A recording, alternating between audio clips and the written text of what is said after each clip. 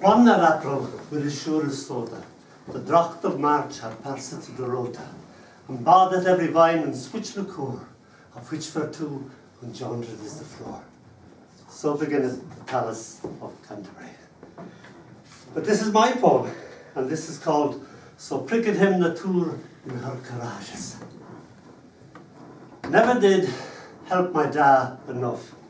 Always head stuck in a book. Donaldson, he'd call, can you hold this while I sew?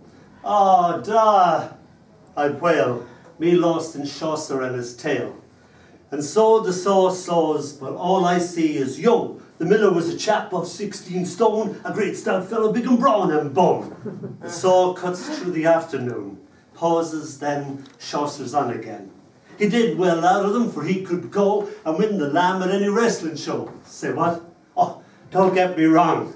I adored this aesthetic beauty of sawdust floating in a universe of its own, suspended in sunlight and shadow. The smell of pine kidnapping my mind. The green dance of the bubble in a spirit level.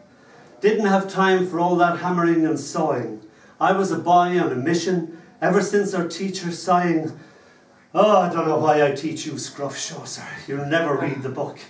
But by the weekend, furious at the rebuff I ha ha had. My poor old da only getting begrudging help. One that April, the words falling like gentle rain upon my mind, with as sure as sota, the, bra the of March, words, words, oh sweet words, had passed to the rota. My mind batheth every vine and switch liqueur, the bubble in the spirit level, poised perfectly, perfectly poised, of which for two engendered is the floor.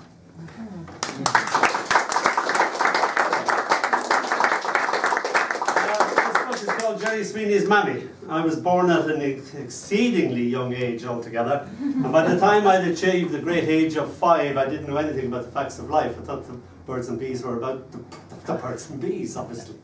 Uh, busily filling me in now. Um, I suffered under the illusion that a chap could have three mammies, cause, uh, because this was a biological definition. It wasn't, it wasn't a biological.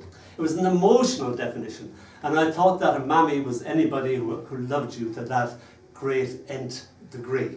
So I had my own lovely mother, Rita. I had Lizzie Sweeney up the road, and I had my Auntie Mary down in Cork. And even by that definition, my dad was the best mammy I ever had. So my mother had to sit me down and tell me about Mrs. Sweeney. So this is called Jerry Sweeney's mammy.